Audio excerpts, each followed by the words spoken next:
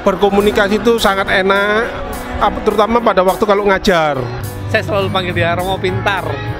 Bahasanya itu gampang diserap. banyak berkarya dan memberikan banyak pengalamannya baik dalam pelayanan sehari-hari ataupun dalam akademik.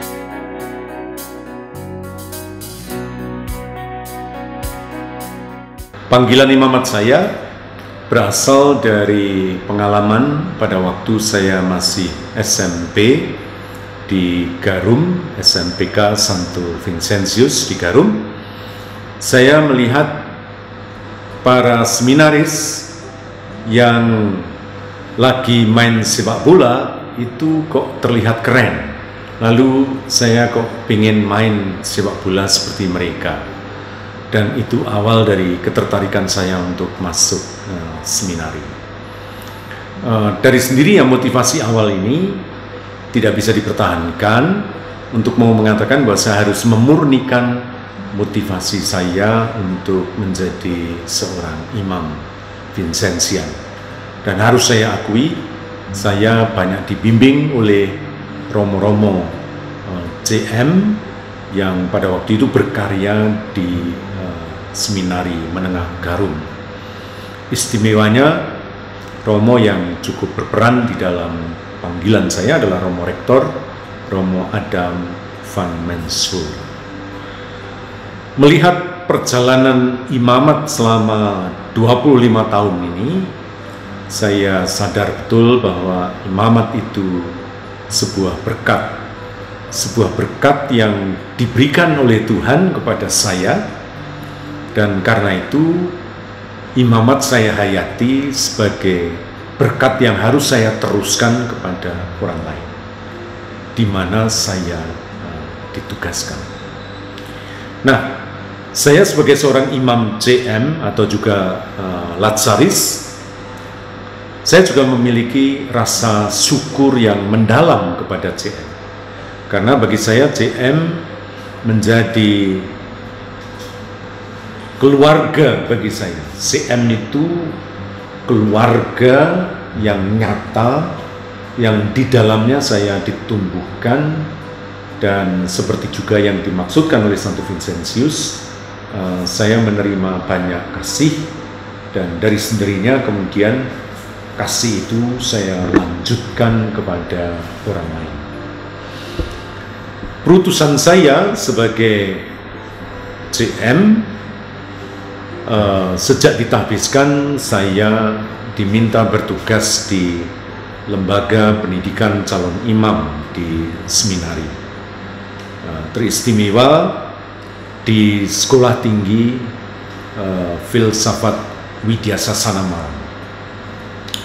Jadi setelah ditahbiskan saya di novisiat, kemudian saya ngambil doktoral di Gregoriana dalam bidang filsafat etika politik dan kembali ke Malang lalu menjadi dosen sekaligus pembina untuk para calon imam. Uh, saya menemukan bahwa mungkin ini adalah kehendak Allah bahwa hidup saya diminta untuk menekuni sebuah tugas dalam formasi imamat. Formasi imamat bagi saya pertama-tama bukan perkara mendidik, tapi perkara juga bahwa saya mesti uh, belajar dari rekan-rekan dosen, rekan-rekan pembina, sekaligus belajar banyak dari mahasiswa dan mahasiswi. Sehingga sering kali saya mendapati diri saya justru saya lebih banyak uh, dibina dalam tanda kutip, dikembangkan oleh mereka. Setiap pertanyaan, harapan, kritik, diskusi dengan mereka membuat saya uh, semakin berkembang. Saya tentu gembira dan bahagia memiliki para alumni yang kemudian mereka berkembang hebat di dalam karya dan imamat, tapi juga ada yang karena sesuatu lalu memilih uh, jalan untuk menjalani hidup sebagai awam, membangun keluarga dan sebagainya.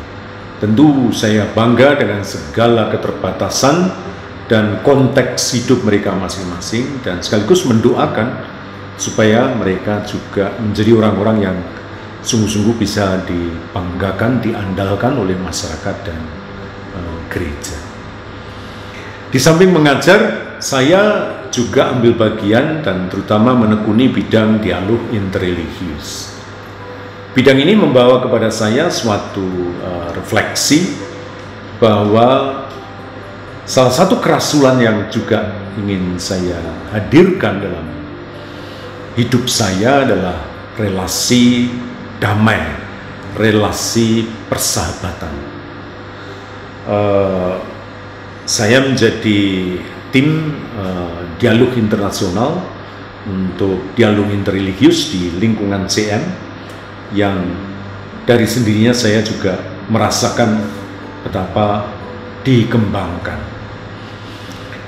Kemudian uh, karena tugas saya juga diminta untuk membantu mengajar di beberapa uh, universitas seperti di UNER dalam visit terutama uh, mereka yang menjalani program doktoral dan juga beberapa waktu yang silam uh, di universitas yang lain seperti misalnya Muhammadiyah dan juga Universitas Muhammadiyah Malang dan juga Universitas Katolik uh, Widya Mandala Surabaya.